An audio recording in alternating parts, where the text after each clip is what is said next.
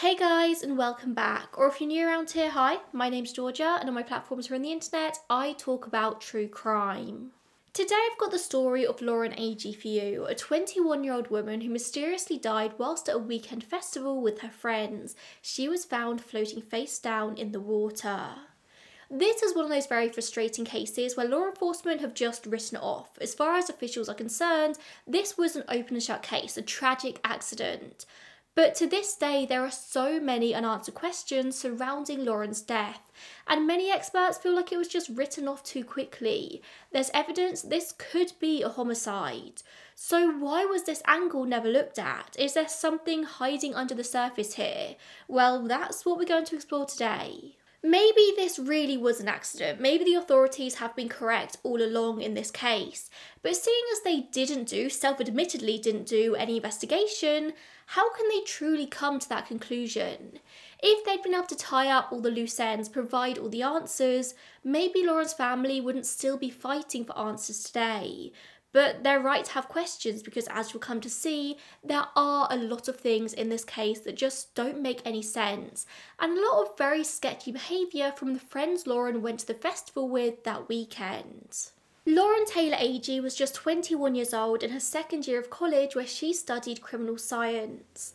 She was at the peak of her life. She was living every day to the fullest. She just got a new boyfriend who she was absolutely besotted with, and her friends and family described her as vibrant and vivacious, the kind of person you were always going to notice in any room. Whatever the opposite of a wallflower is, like that was Lauren. She could chat to anyone, and she always made her presence known. Her family described her in a Crime Watch Daily episode about this case as just a ball of fire. Lauren's greatest love in life was dance. She'd been dancing since childhood and she'd won more competitions than you could possibly count. Even as a college student, she was still dancing. It was just kind of her lifeblood. Family said she was just constantly dancing, whether she was waiting in line at the store or watching music videos on TV, just copying the moves on screen. She did that from childhood all the way through to when she died. I always liked going to these episodes giving you a really good idea of who these victims were. I think in a lot of true crime cases, the victims do kind of get lost in the narrative, but Lauren was just so full of life. She needs to be at the centre of her own story. I have no doubt that her loss has just left a huge hole in her family. She was living at home with her mum and sister in Tennessee at the time she died. So, in the summer of 2015, even though she was 21, Lauren approached her mum Sherry and asked if she could go to Wakefest. I found Wakefest described online as a community outreach event designed to promote the sport of wakeboarding. So basically, professional and amateur wakeboarders take place in a grassroots tournament on the water, and every year over 2,000 spectators turn up to support during the day and then party at night. And I get the feeling that for people in Lauren's circle, maybe, or maybe for just teenagers and young adults generally in this area, Wakefest was kind of one of those rite of passages. Like it's summer, you go to Wakefest, you get drunk, and you party through the night with your friends. It's a three day festival located at Center Hill Lake, just two hours outside of Nashville. The idea is that overnight people stay in the cabins and houseboats dotted around the marina, and it seems that's what Lauren kind of assumed that she was doing when she went with her friends but that wasn't really what her friends had in mind. So Lauren was originally invited to attend Wakefest with a friend called Samantha, but that plan fell through and there just basically wasn't enough space for her in the car. I have a feeling there was some sort of like young girl politics involved in this. So instead, Lauren goes with a childhood friend of hers called Hannah. And upon telling Sherry this, that this is who she planned to go with, Sherry said she was immediately quite concerned because apparently Hannah was one of those friends who sort of dipped in and out of Lauren's life. When Hannah had a boyfriend, she'd generally just disappear and she'd only make an effort with Lauren when she needed something. So Sherry just generally wasn't the biggest fan of Hannah as a friend. But I'm sure lots of us can relate to our mums not liking our friends. Mums have that experience. They can see things that you can't see when you're like in it as a young adult. I've had so many friends that my mum didn't like, and I thought she was just being silly at the time. But now I'm almost 30, I actually see it. Don't tell my mum I said that though. But when you're young, you just don't care. You're just in it for fun. You're desperate to fit in. You don't care if your friends aren't the best people in the world. Like, you're just living your life. Lauren was happy to go off for a weekend with Hannah. But she wasn't just going with Hannah because they were also going with Hannah's boyfriend Aaron and Aaron's friend Chris, neither of whom it seems like Lauren had ever met before. As I said before, Lauren did have a boyfriend. I think he was called Chase, who she was very smitten with. So she didn't go to Wakefest with these boys with any intentions. This wasn't a double date situation. She was just going to hang out with her friends and have fun, and the boys just happened to be there.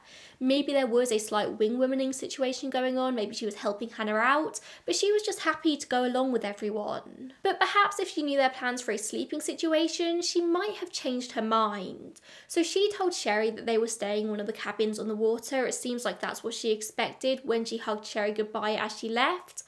But it only became clear later that night that there was no cabin. They were camping.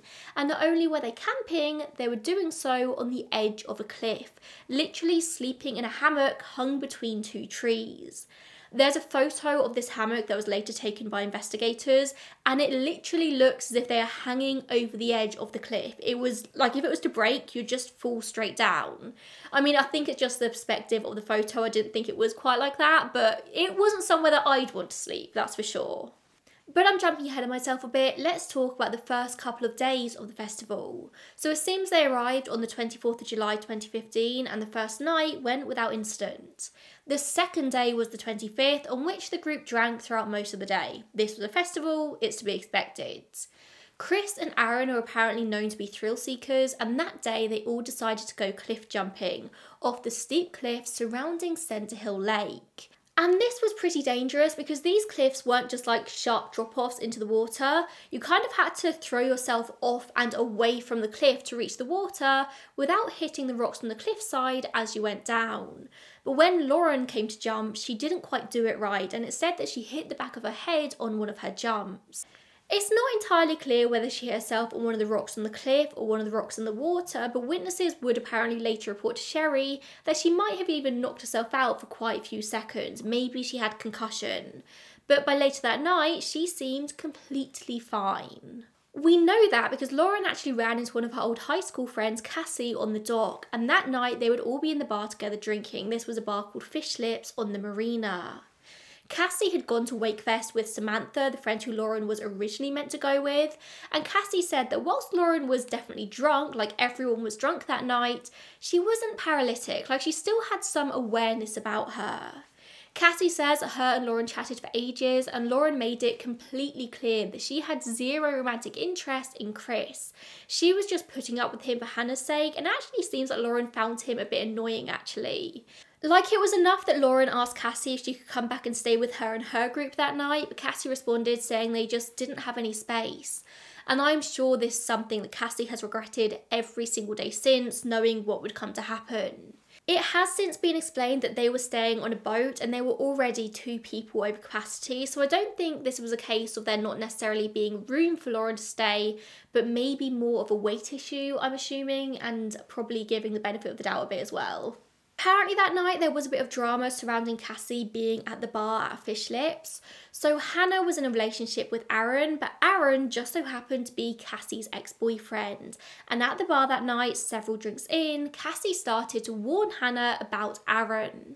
Their relationship had allegedly been physically abusive. Aaron had attacked Cassie on more than one occasion, once even ending up with them both getting arrested. And so Cassie was just kind of trying to be like, girl, watch out. But of course, Hannah didn't take that too well. And this ended in a physical altercation between the two girls. Hannah hitting Cassie whilst Aaron just looked on. Suffice to say, tensions were pretty high, and I do wonder if Lauren maybe felt a bit trapped between these two, two of her friends fighting. But as you'll come to see, Lauren wasn't really involved in this because she was with other friends. But the group stayed at the bar drinking until about 2am on the 26th before heading off to bed. But like I said, they were camping at the top of a cliff. To get there, they had to canoe across the lake and then hike up over the rocks and through the trees, holding onto a rope that led them to the top. And this is literally 2am. Let me set the scene for you a bit here. So the area they were staying at was a long skinny peninsula sticking out into the lake. On three sides they were surrounded by water. I get the feeling that this area was a bit of a sort of rite of passage place to stay. Cassie talks about staying there herself a few years earlier and she said it was terrifying, she would literally never ever do it again. Either side of this peninsula were steep cliffs. One side was 90 foot high and the other was 45 foot high. So pretty intimidating. You were literally on a rock, cliffs either side. Horrible. I would never. And there was nothing there apart from the camping equipment for the friends that night. There was one tent that was quickly grabbed by Hannah and Aaron, and a singular hammock that I mentioned earlier, loosely tied between two trees, dangerously close to the cliff's edge. Lauren was braver than I, that's for sure, because one look at this and I would have been swimming back to shore. Like, I wouldn't even entertain getting into this hammock. I'd be terrified to even try and enter it for fear of just like flipping over and falling down the cliff's edge. I mean, on this cliff, there wasn't even a toilet. If you needed to go to the loo, apparently the dumb thing was just to hang onto a tree and lean backwards so the pee just ran down the cliffside.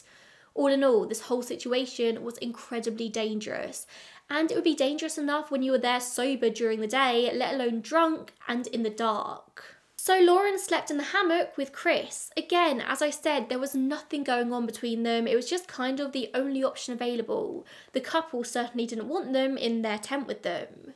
They both got into the hammock, and according to the stories the group would later tell, nothing eventful happened. They just went to sleep. Chris would later say that he did wake up at one point in the night and in his half asleep state noticed that Lauren was gone, but he didn't think anything of it. It wasn't until the morning they really realised that she had actually disappeared. I do find it hard to believe that he wouldn't have woken up to her getting out of the hammock in the middle of the night. I mean, there's no way to do that gently or gracefully. But he was drunk, they all were, so I'll give him the benefit of the doubt. He says he doesn't know what time it was that she got up. Now, you would think that when the three friends woke up in the morning and realised that Lauren was nowhere to be found, they'd panic, but they just didn't. They said they assumed they should already gone to the festival without them, despite the fact that all of her belongings were still underneath the hammock where she'd placed them her phone, her keys, and her shoes. Even if Lauren did get up in the middle of the night to go and pee and just happened to fall off the cliff in the process, surely you'd just slip your flip flops on before you went and you'd bring your phone for the torch or the flashlight as she would have called it. You don't just go wandering around in the dark on your own on the top of a cliff. Hannah later made a voluntary statement to the police which read, when we woke up this morning, Lauren was gone, but all of her stuff was still on the campsite. We thought she might be at Wakefest, but she wasn't there. We immediately went to the campsite when coming back to the dock. She wasn't up there still, but her stuff was. I went to see if she might have been at the Patesford bar and I saw that policemen were already headed to our campsite. At no point that whole morning did any of her friends report Lauren as missing to the authorities or even to the staff at the festival. It seems that for the most part they just went on with their day, which isn't something I can really fathom myself as a complete worrier slash panicker, but I do know some people are a bit more free, so maybe giving Hannah the benefit of the doubt, she did assume that Lauren had gone off with other friends, like she had loads and loads of friends at Wakefest that weekend. Maybe she genuinely just wasn't worried. They were all adults at the end of the day, and Lauren could go off with other friends if she wanted to, but maybe I'm just being very generous. I'll share Chris and Aaron's statements with you a bit later in the episode as they are very interesting, but first I want to talk about the sad discovery of Lauren's body. As I said, the friends just continued on with their day, joining the festival as normal. It wasn't until around 4.20pm on the 26th of July that Lauren's body was discovered by two fishermen floating face down in a cove. It had been over 12 hours since she was last seen. They, of course, immediately notified the authorities, and very interestingly, the cove in which Lauren was found was fairly close to the shore, but on the opposite side of the peninsula than the group was staying on. So at this point in time, the only people who were aware of a body in the marina were the two fishermen, a father and a son, and two police officials, Chris Yarchuk and Ryan Melanson. Both of them were reserve police officers, a patrolman and a sergeant, and they were with White County, who were working private security at the festival that weekend. So as soon as they found this body, they were the first people to be notified. After the fishermen, they were the first ones on this scene, but they knew that this wasn't actually their jurisdiction. They were just there working as private security that weekend. So they couldn't be the ones to remove the body from the water. However, they're still officers. They started mentally noting things about this scene just in case this was going to become a criminal investigation. And Yarchuk said he was so sure this was going to be a criminal investigation because immediately nothing about this seemed correct to him.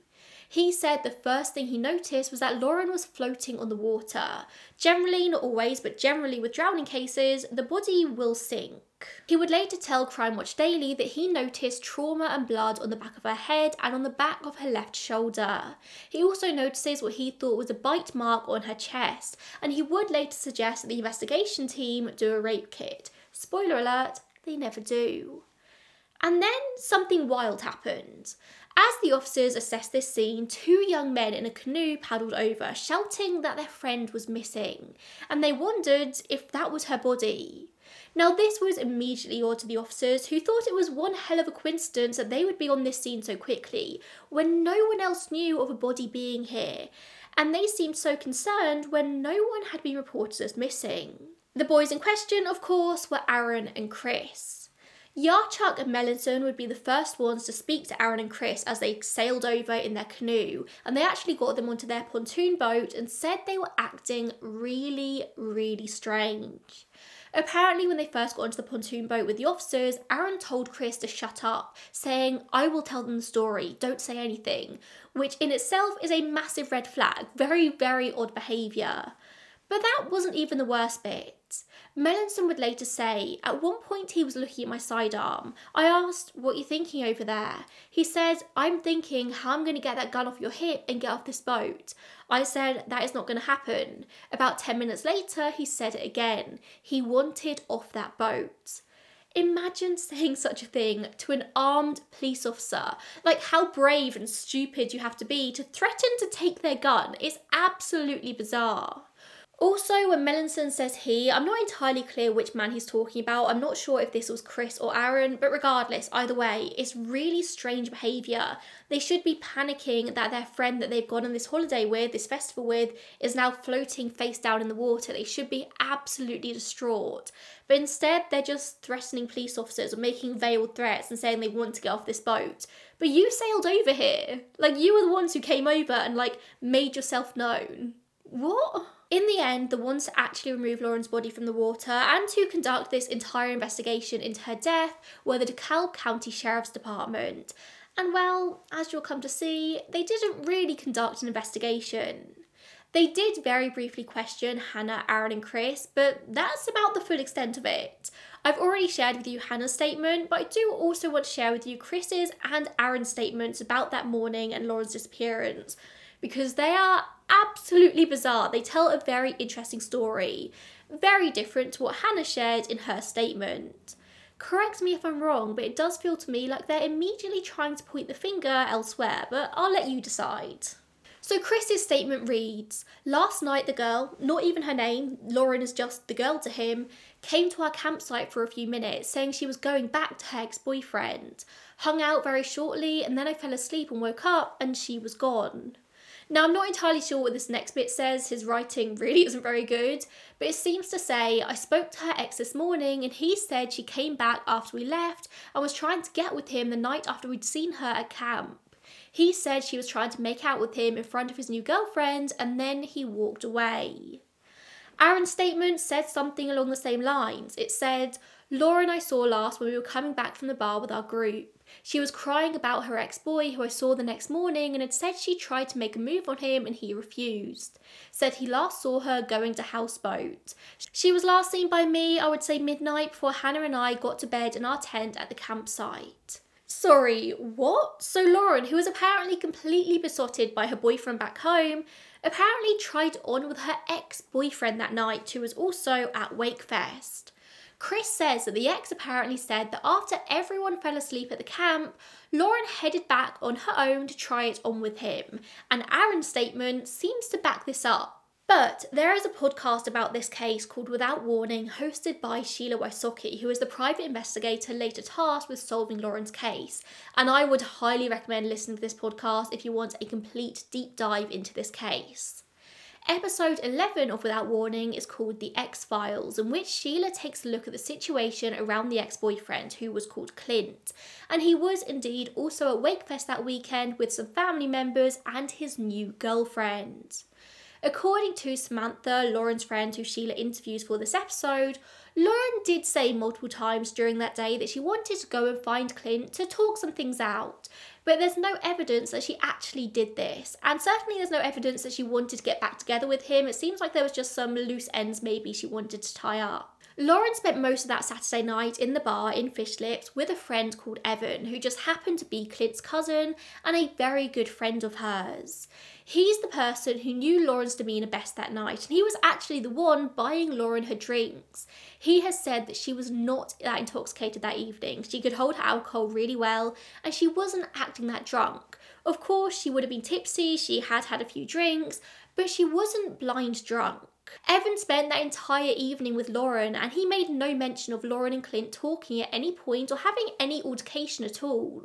In fact, he said he made a conscious effort that night to make sure they didn't interact. Clint was there with his new girlfriend and Evan just didn't want any drama. Evan also very interestingly said that the group that Lauren was staying with, so Hannah, Aaron, and Chris, weren't anywhere to be seen for a huge chunk of the night. So even if Lauren and Chris did have an altercation, how were they going to know about it? Sheila also spoke to Clint personally for the podcast, and he says on the Friday night, Lauren did try and speak to him, but he just walked away. There, there was no big drama, he just didn't want to get into it, and so he walked away. And then he said they had no interaction at all on the Saturday. Their paths didn't even cross, even though they were in the same bar. They just kept away from each other. Clint also has multiple alibis for that night, so multiple people who can back up his version of events. After leaving the bar, him and Evan apparently went to hang out with a whole other group of people, and then they went back to their own RV to sleep. At no point did Clint speak to Lauren on the Saturday night, which makes Aaron and Chris's statements incredibly odd and very out of place. They're both saying the same thing, but nobody else at all can back up their version of events. It's almost as if they made it up and discussed it. They back each other up. But this information doesn't come from a police interview, this just comes from Sheila interviewing them for the podcast. I wish I could tell you that both Clint and Evan were interviewed in the aftermath of Lauren's death, but they weren't. Especially Evan. He was the last person to see Lauren before she left to go back to the cliff with her group but no one spoke to him, nor did anyone speak to Clint. There was no investigation done here. Surely the most basic thing to do in a police investigation when a woman has mysteriously turned up dead is interview the ex boyfriend, for one, and interview the last person to see her alive before she left with this very suspicious group of people. But no, just didn't happen. Let's talk about Lauren's family. So Lauren's body was found in the cove at 4.20pm, but her family weren't informed until quite a bit later. It's a little bit confusing, but it does seem like the family, including Lauren's mum, sister, and boyfriend, were informed that something had happened to Lauren and they went to the hospital to await further news. It was only once they got to the hospital that Sherry gets the news from a DeKalb County Sheriff's deputy that Lauren had actually not made it. Sherry has said the very first question that she asked was where were the people that Lauren was with? To which the deputy replies they're currently being questioned, but they would very soon be let go. Sherry was also told that it was probably for the best that she didn't see her daughter's body, which very well could have been to protect her. Lauren's body had been in the water for a significant amount of time, and no doubt there would have been bloating, it wouldn't have been a very pretty sight. But off the bat, this made Sherry suspicious. If she wanted to see her daughter, shouldn't she be allowed? So from the get-go here, Sherry is immediately thinking like something is wrong, something is up. Like why has my daughter suddenly died and why does nobody seem to think there's anything going on here? So let's talk about the autopsy results, which are incredibly interesting. And when they came out, it only became more clear to Sherry that something was going on. Despite being found face down in the lake and the officials at the scene assuming this was a drowning accident, Lauren's cause of death was actually found to be blunt force trauma to her neck and back. The incident report states that this was caused by her falling down the cliff and then she possibly drowned once she reached the water, but there was no water found in her lungs. It is possible for somebody to drown without water being found in the lungs, but it is incredibly rare. Her cause of death, though, it was blunt force trauma. Like, there's no denying that. That is what the autopsy says. Interestingly, though, the post mortem photos do show that Lauren did have scratches and cuts and bruises in different places on her body, but nowhere near as much as you'd expect if she had fallen, rolled down an entire cliff face. Lauren was also found to have a very high level of alcohol in her body, which is no surprise as we know she was out of the bar drinking on the night of her death. but the blood alcohol level was found to be more than twice the legal limit. This has been used as proof that she could have lost her balance and slipped down the cliff, but there are witnesses, Evan, who spent the whole night with Lauren at the bar and have said that she wasn't that drunk. I mean, she was drunk for sure, but not that drunk. There have been questions about whether the medical report recognised the potential for fermentation of alcohol in the body post death, which could have caused raised levels in the test. And this is something that genuinely happens, but whether it happened in Lauren's case, we don't know. Nobody really looked into any of these things. Detective Jeremy Taylor with the DeKalb Sheriff's Office was the one to lead this case, and he wrote After the autopsy report was completed, I reviewed my case file and the autopsy report and concluded that Lauren Agee's death is consistent with an accident. At this time, I do not have any evidence to support foul play in the death of Lauren Agee. They believe that she accidentally fell down the cliff, perhaps when she got up in the night to go and pee, and that was it. However, when the news of this was released, Yarchuk and Melanson, the first two officers on the scene, both felt so strongly that something was amiss that they each independently tried to contact Sherry to let her know that something didn't feel right. Yarchuk has said that from the moment he saw Lauren's body, he knew this wasn't drowning. She was floating. Just nothing about this felt correct. At the scene, he also noticed a large number of marks on Lauren's body that just didn't seem to be mentioned in the autopsy report, despite the photos clearly showing them there. For example, her neck showed signs of hemorrhaging, marking which seemed to be consistent with being held down by the throat. She had bruises on the top of her thighs as if somebody had held her down with their knees. She had broken fingers consistent with somebody putting up a fight. Yarchuk also noticed a bite mark on her chest and commented at the scene that he thought a rape kit should be administered. However, of course, that did not happen, nor was Lauren even swabbed for DNA. And this is the thing that fills me with the most rage in this case the fact they didn't even bother to do a rape kit. There was no reason not to do one, but you know what the investigating officer Jeremy Taylor stated as his reason for not ordering one? Because Lauren was wearing a tampon. And apparently, if a woman is wearing a tampon, she can't be raped. If she's on her period, she can't be raped. Once again, men's poor understanding or poor care of the female anatomy causes a case to go under investigated. A woman can be raped or sexually assaulted whether or not they have a tampon in, whether or not they're on their period. It's not something that's going to stop a rapist. If there is something that even resembles a bite mark on Lauren's chest, why would they not run a kit just in case? It's beyond comprehension. Like, why would you not want to just make sure? Why wouldn't you swab for DNA just in case? Like, they didn't even check under her fingernails. The pure rage I felt when I read that for the first time when I read Detective Taylor stating that Lauren couldn't have been raped because she had a tampon in. Oh my god, I could have screamed. I was so angry. The final thing that Yarchuk remembered noting at the scene was a triangular mark on Lauren's torso just underneath her chest. This looked to be an imprint, it was two lines meeting at a point at a 45 degree angle, and he very quickly realised that the markings were very similar to the tip of a canoe. It seemed to him that Lauren's body had been laid over the end of a canoe, her head, arms, and sort of chest in the canoe, and her legs sort of dangling over the edge into the water. Like it was quite a deep imprint and it was quite a distinctive imprint as well. Like Yarchuk immediately knew what he was looking at.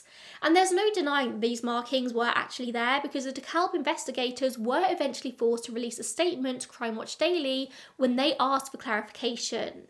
Their statement said, the Tennessee Wildlife Resource Agency assisted the Sheriff's Department detectives in loading the body onto a TWRA boat to transport the body back to our boat ramp. Our investigation determined this marks an identical match to the TWRA boat storage locker lid where the body was placed face down during transport to the boat ramp. But as has been pointed out, the corner of this boat storage locker lid would have been a right angle, 95 degrees. The mark on Lauren's body was definitely more of a 45 degree angle. There are photos of this available to the public, so I'll let you make up your own mind as to what you think here, but again, it does seem to match a canoe. Even with just a cursory understanding of this investigation, it was pretty clear to Lauren's family that something was amiss here. From day one, they just didn't buy the accident theory, and as more and more information came out, it only confirmed their suspicions. I suppose you could argue that it's confirmation bias, that her family are looking for certain details and so they find them, but I do think it's pretty clear that a proper investigation just didn't take place in this case.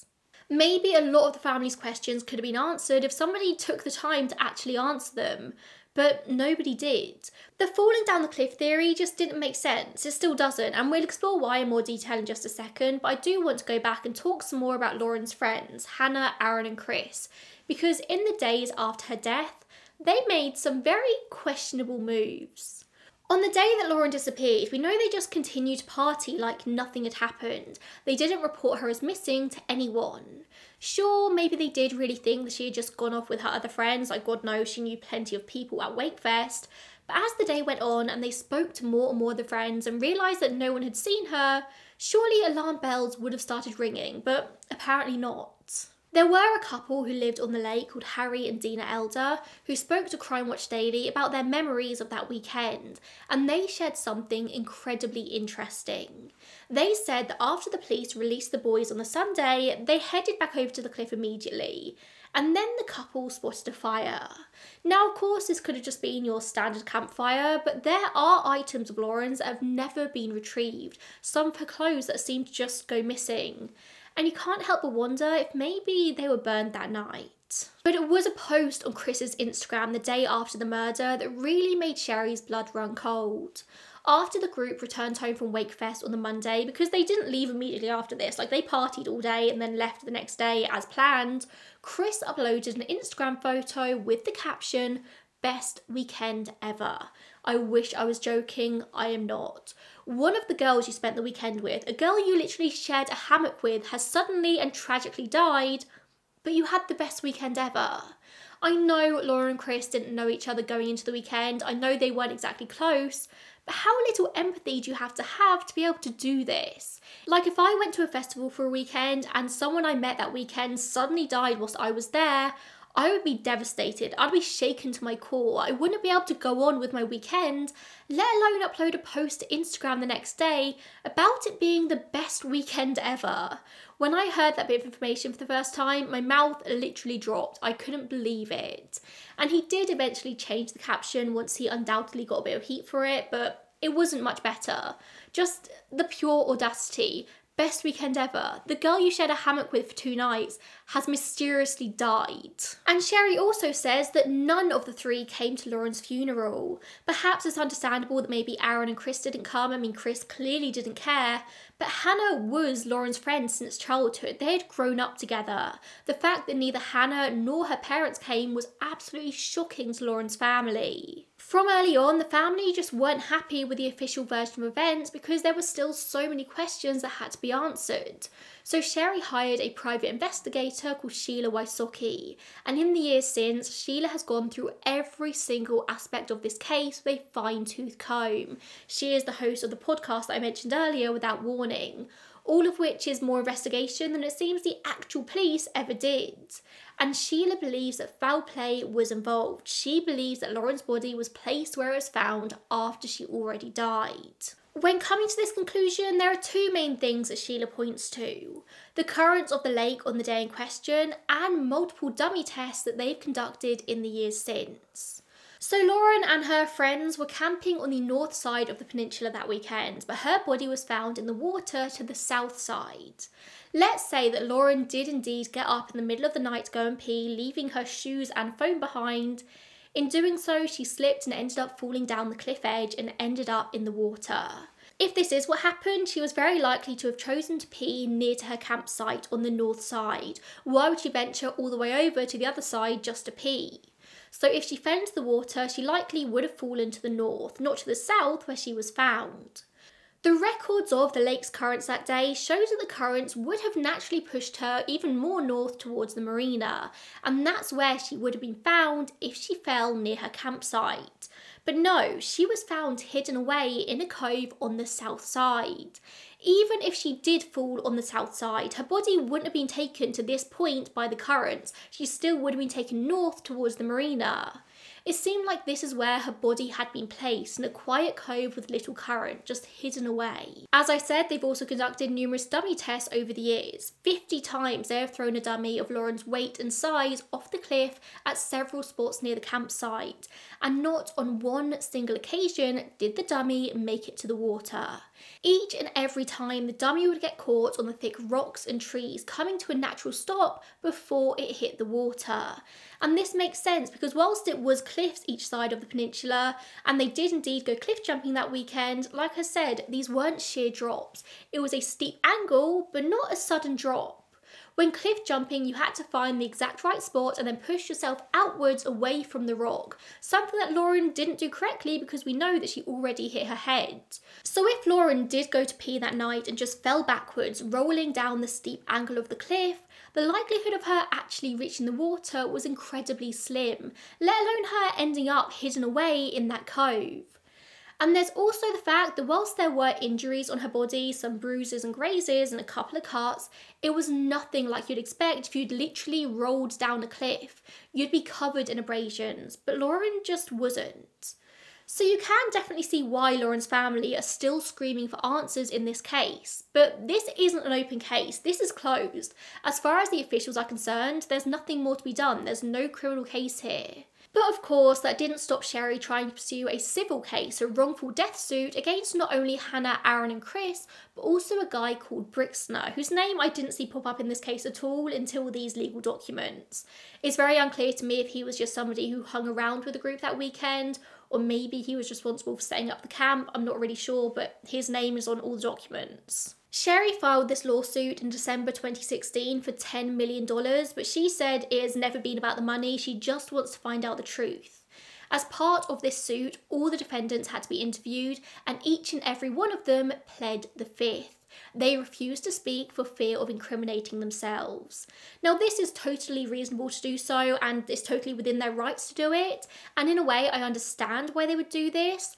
But when there's so many eyes on you, so many people thinking that you're guilty of something, wouldn't you want a chance to set the record straight, to tell the truth if it is indeed the truth? Maybe that's just me, but if you've got nothing to hide, why not speak? But then in September 2018, it was announced that Sherry was having to drop the lawsuit. A judge had put a gag order on the Without Warning podcast, which was doing incredible things in raising awareness for Lauren's case. And basically, if they continued recording it under the gag order, Sherry would risk being thrown in jail. So it seems like Sherry chose to drop the case in order to continue with the podcast. And then there was a plot twist when the Nashville Court of Appeals overturned the judge's ruling and the lawsuit was allowed to proceed onto a jury trial. So, quite clearly, it seems the Court of Appeals did see something in this lawsuit that was worth investigating.